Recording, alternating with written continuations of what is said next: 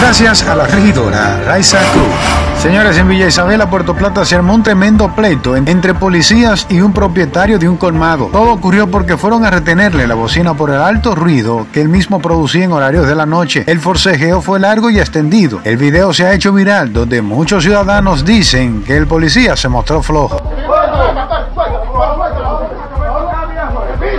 Así fue, síguenos. Este fue un boletín de noticias en voz de Luidín González.